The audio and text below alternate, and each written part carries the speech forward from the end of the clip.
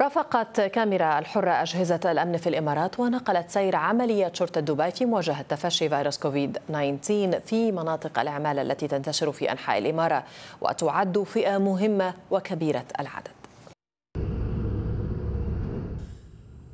ساحة الحرب ضد كورونا مفتوحة ومنذ احتدام المعركة في العالم مع الفيروس دخلت شرطة دبي جبهة مواجهة انتشار كوفيد 19 في أنحاء الإمارة كثفت من دورياتها ولا تزال في إطار الإجراءات الوقائية والاحترازية ضد تفشي الوباء.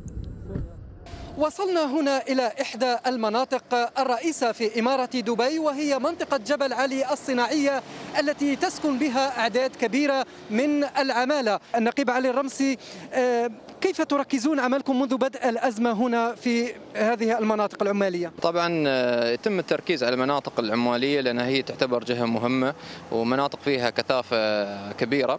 فيتم تثقيف الجمهور وأخذ وتوعيتهم بالتدابير الاحترازية الموجودة.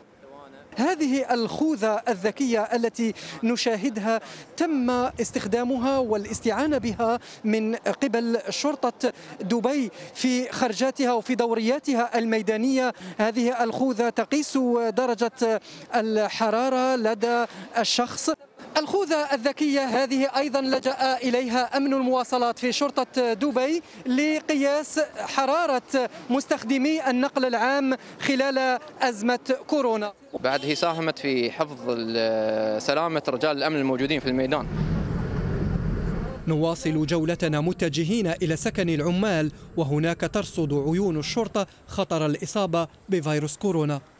في عودتهم إلى سكنهم هنا تجري عملية قياس درجة حرارتهم قبل دخولهم إلى السكن العمالي. وزارة الداخلية والقيادة العامة لشرطة دبي آه، لن تتوانى في ظل الجائحة الحالية في الاستعانة بتقنيات الذكاء الاصطناعي للحفاظ على أمن وسلامة المجتمع.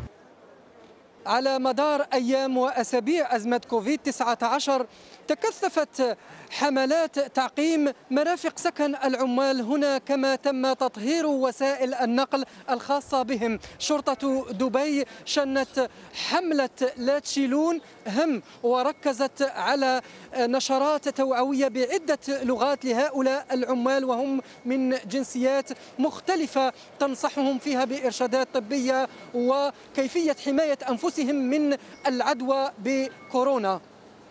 مصطفى سكحال الحرة دبي.